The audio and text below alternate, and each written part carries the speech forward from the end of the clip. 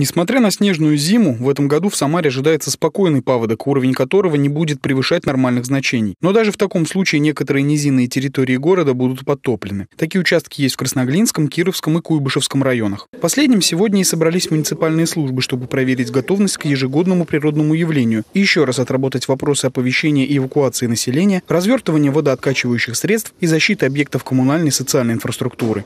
Прогноз на сегодняшний или на сегодняшнее половодье, мы, его регулируется федеральным центром, э, мы ориентированы на отметку 32,5 а в данной ситуации. Если говорить, штатная это или не штатная ситуация, но по этой отметке мы всегда работаем.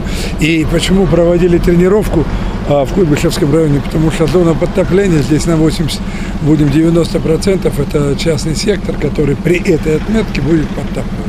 Само заседание штаба по организации работы в условиях паводка прошло в школе номер 57, которая, в случае необходимости, приютит на время жителей подтопленных районов. Участники встречи обсудили вопросы расселения людей, а также посмотрели, как обустроен пункт временного размещения. На входе проверяют документы и состояние здоровья. В кабинетах развернуты спальные места. Отдельные комнаты есть для родителей с маленькими детьми. Для временных переселенцев доступны медпункт и столовая на 300 мест, где организовано питание и выдача сухого пайка.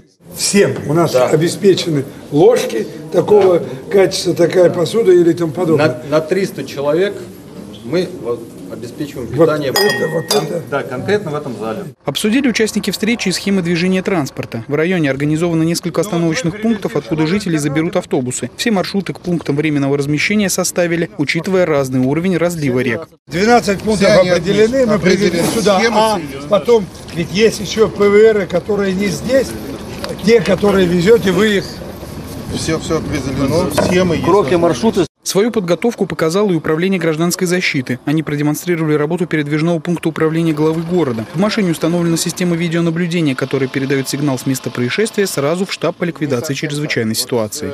Выехала оперативная группа сюда. Глава находится у нас в управлении гражданской защиты, где развернут штаб по ликвидации чрезвычайной ситуации.